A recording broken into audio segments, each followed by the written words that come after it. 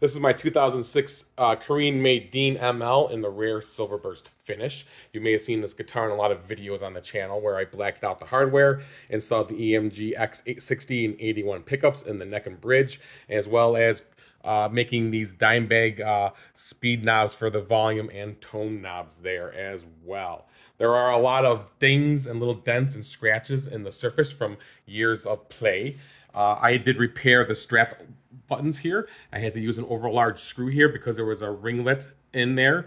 Uh, this works just fine and you don't need a strap lock any longer. This strap lock will not work though. The screw head is too large to allow it to function correctly. Here's a picture of that serial number. The neck is in excellent condition. No dings on the neck, nice and smooth. It is a chunky style neck. Lots of buckle rash on the back of the guitar. It was gigged before I purchased it. And you can see the battery cover here that I made for the 9 volt battery for the EMG. Thanks for checking out the guitar. Have a